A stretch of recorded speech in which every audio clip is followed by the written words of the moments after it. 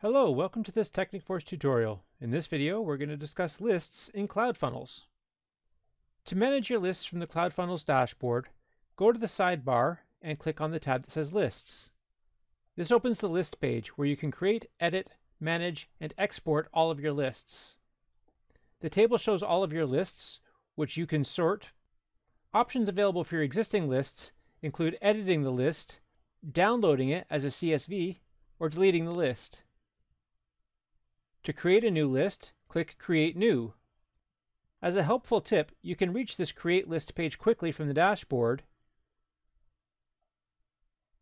by clicking the shortcut Create List. Here we can give our list a name.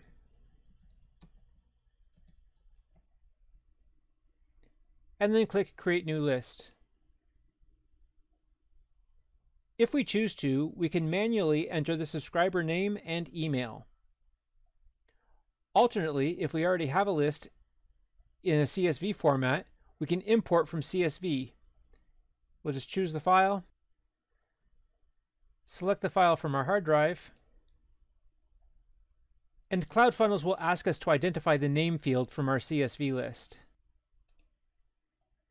as well as the email field. And then save.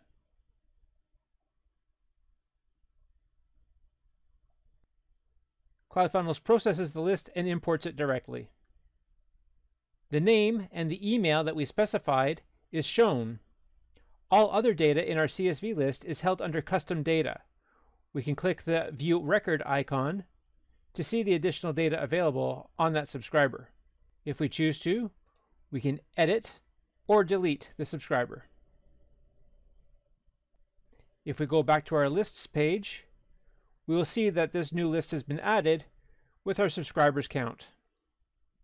And that's how easy it is to manage your lists in CloudFunnels. I hope you found this tutorial useful. Thanks very much for watching.